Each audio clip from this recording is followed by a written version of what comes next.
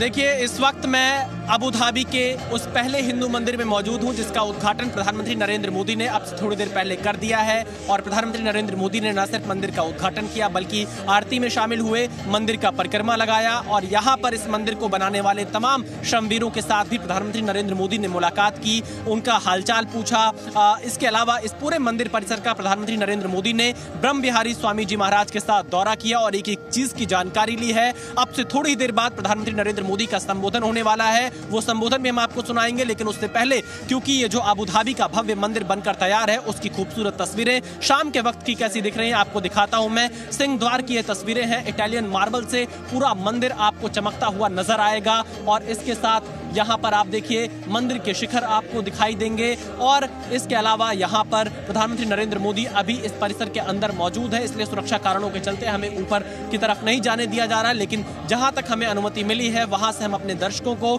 इस खूबसूरत और भव्य दिव्य मंदिर की तस्वीरें दिखा रहे हैं। अबू धाबी का यह मंदिर बहुत खास है और इसका अयोध्या से कनेक्शन भी बहुत पुराना है, बहुत प्राचीन है, क्योंकि जो भगवान स्वामी नारायण जी थे, वो अयोध्या से मात्र अठारह किलोमीटर की दूर, छपिया से ही ताल्लुक ताल्लुक रखते रहे हैं और इसके अलावा अयोध्या में राम मंदिर का उद्घाटन 22 जनवरी 2024 को प्रधानमंत्री नरेंद्र मोदी ने किया और अब फरवरी चौदह को प्रधानमंत्री नरेंद्र मोदी ने आबू धाबी के इस पहले हिंदू मंदिर का उद्घाटन करके यह संदेश दिया है कि किस तरह से जो भारत की संस्कृति है, जो भारत का आध्यात्मिक विकास है, वो उनकी सरकार के एजेंडे में बहुत टॉप पर है और इस बात का ज़िक्र प्रधानमंत्री मोदी लगातार कई बार कर चुके हैं। जब उन्होंने महाकाल कॉरिडोर का उद्घाटन किया था या फिर काशी विश्वनाथ कॉरिडोर का उद्घाटन किया या राम मंदिर का उद्घाटन हो जो तमाम भारत में तीर्थ हैं उनके उद्घाटन से, उनके विकास कार्यों से।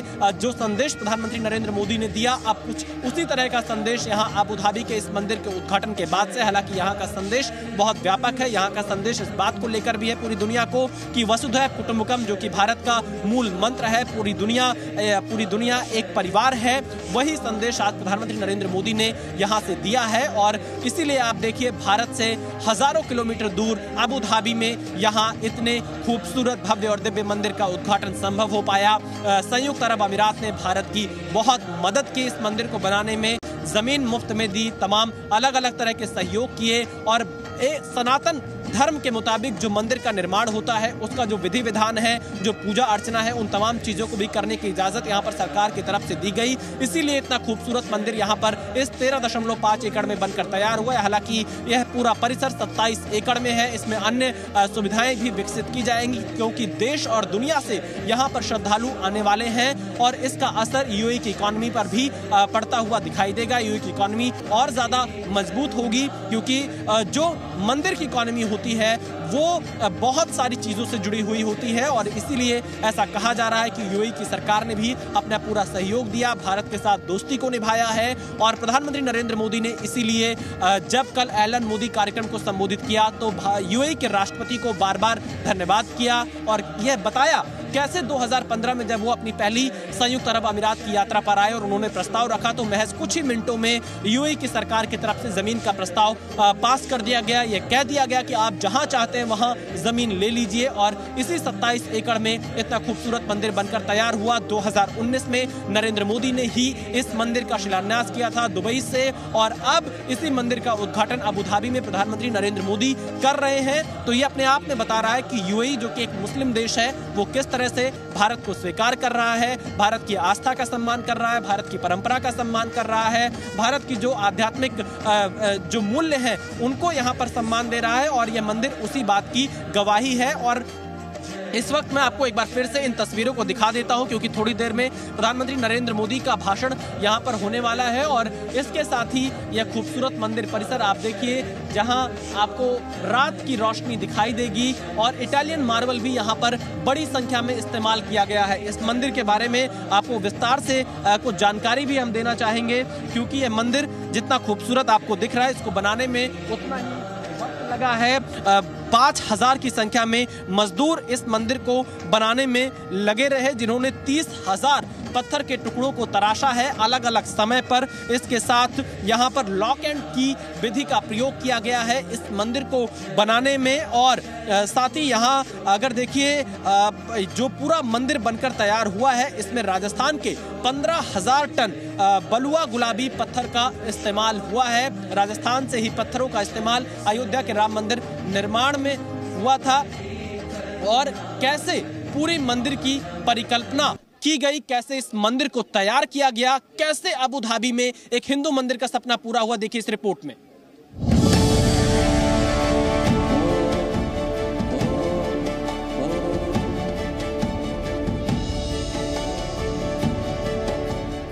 ऊँचा शिखर, शानदार नक्काशी।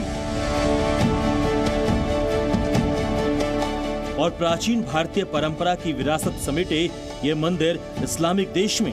सनातन के प्रवेश का साक्षी है। राजस्थान के गुलाबी पत्थरों से बने अबू धाबी के पहले हिंदू मंदिर की भव्यता सबको आकर्षित कर रही है। ये मंदिर सिर्फ़ आध्यात्म और दर्शन का नहीं, बल्कि भारत यूएई के बीच मज़बूत रिश्तों का भी प्रमाण है। 20 अप्रैल 2019 को महंत स्वामी महाराज और पीएम मोदी ने इस मंदिर का शिलान्यास किया था। करीब पाँच साल बाद मंदिर का उद्घाटन सनातनी परंपरा की संकल्प शक्ति का नया सूर्योदय है। अबू धाबी में इस मंदिर का निर्माण बोचन वासी अक्षर पुरुषोत्तम स्वामी नारायण संस्था, यानी बीएपीएस ने करवाया है, मगर इसमें बड़ी संख्या में सनातनियों का भी योगदान रहा है। जब मंदिर का निर्माण हो रहा था तो निर्माण की सेवा में यहाँ गल्फ कंट्रीज़ के हरिभक्त सेवा में आते रहे वो हज़ारों की तादाद में आए और हरिभक्तों के साथ यहाँ जो पी स्वामीनारायण संस्थान के हरिभक्त हैं, उनके साथ साथ भारतीय कम्युनिटी के लोग भी सेवा में आते रहे। यहाँ ईंटें रखने की एक बहुत बड़ी सेवा थी तो वो सेवा में सब जुड़ते रहे। नरेंद्र मोदी प्रधानमंत्री बनने के बाद 2015 में पहली बार यूएई के दौरे पर गए थे। तब यूएई ने मंदिर के लिए तेरह दशमलव पाँच एकड़ जगह देने की घोषणा की थी। 2018 में यूएई के प्रिंस ने ज़मीन दान की। 2019 में पीएम मोदी की मौजूदगी में शिलान्यास हुआ कतर के मीडिया हाउस अल जजीरा में छपी रिपोर्ट के मुताबिक इस मंदिर के लिए एक मुस्लिम बिजनेसमैन ने भी पाँच एकड़ ज़मीन दी थी मंदिर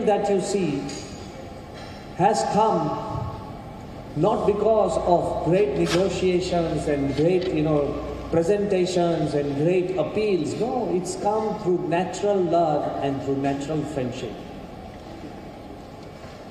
It's correct to say that the prayer of Pramukh Swami Maharaj gave wings to the thousands of prayers that have been said by our forefathers. One thing is a fact, and I would love to attribute that to all the Indians staying in this nation and all our forefathers who have created such a great impression of integrity that things like this are yet going to happen more and more because of what all of you are. उत्तर भारतीय नागर शैली में बना ये मंदिर अद्भुत है। मंदिर में कई देवी देवताओं की मूर्तियाँ हैं। भक्त यहाँ भगवान श्री स्वामी नारायण और श्री गुनाटीनंद स्वामी की पूजा कर सकेंगे।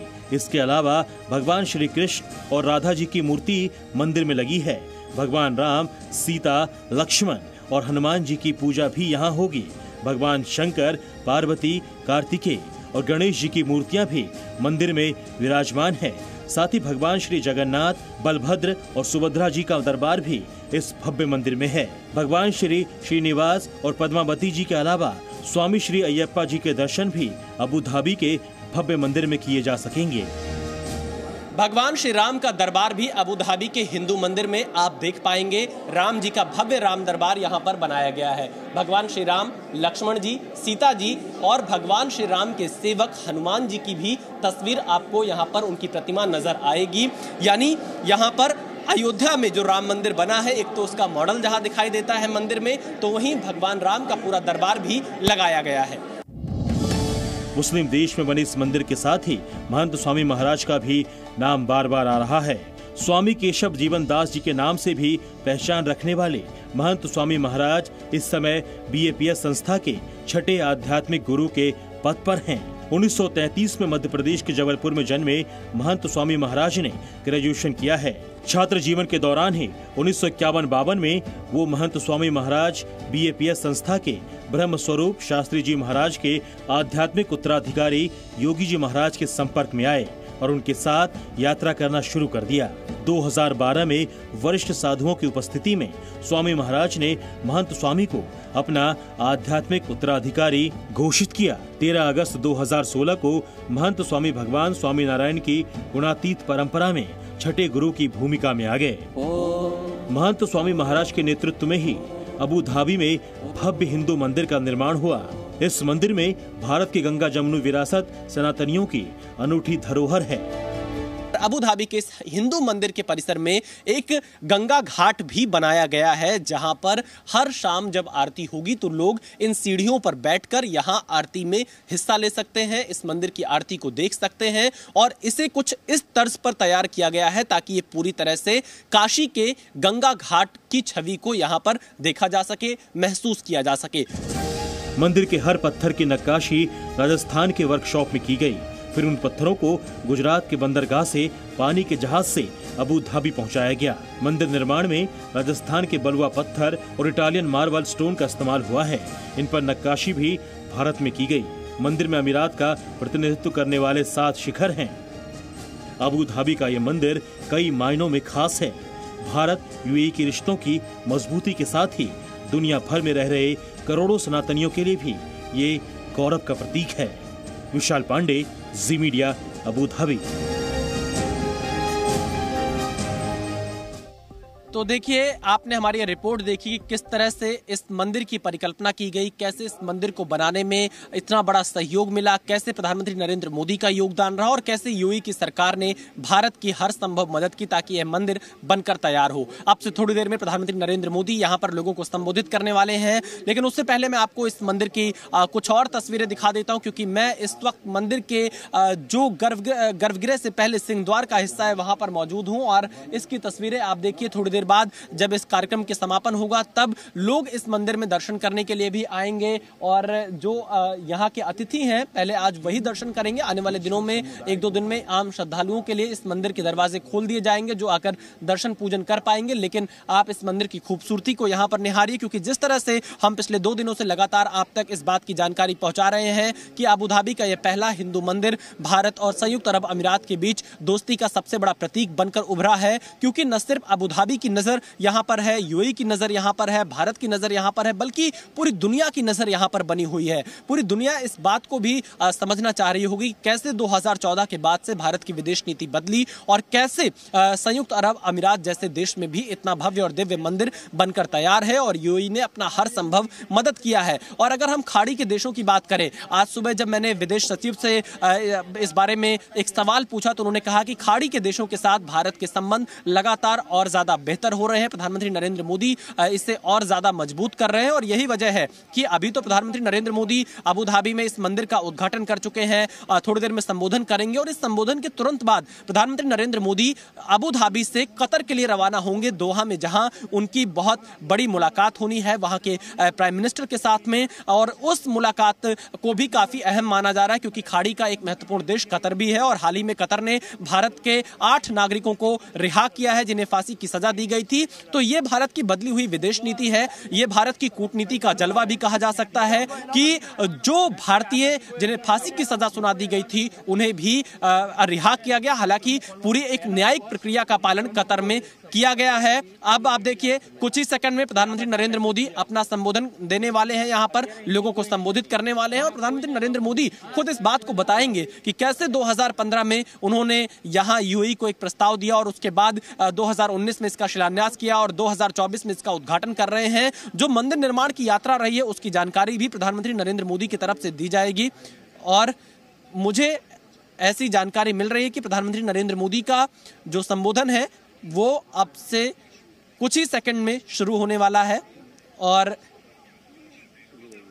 कुछ ही पलों में प्रधानमंत्री नरेंद्र मोदी के भाषण को आप सुन पाएँगे और प्रधानमंत्री नरेंद्र मोदी मंदिर के बारे में विस्तार से यहाँ लोगों को बताएँगे, पूरी दुनिया को बताएँगे कि कैसे अबू धाबी में इतना बड़ा मंदिर बनकर तैयार हुआ है। यह अपने आप में एक बड़ी कामयाबी भारत के लिए है, बीएपीएस संस्था के लिए है और हिंदू धर्म में, सनातन धर्म में यकीन करने वाले, विश्वास रखने वाले जो लोग हैं, उनके लिए भी यह एक बड़ा अवसर है कि अबू धाबी में एक बड़े हिंदू मंदिर का उद्घाटन संभव हो पाया है और इसका श्रेय बीएपीएस संस्था की तरफ़ से प्रधानमंत्री नरेंद्र मोदी को दिया जा रहा है। Sie.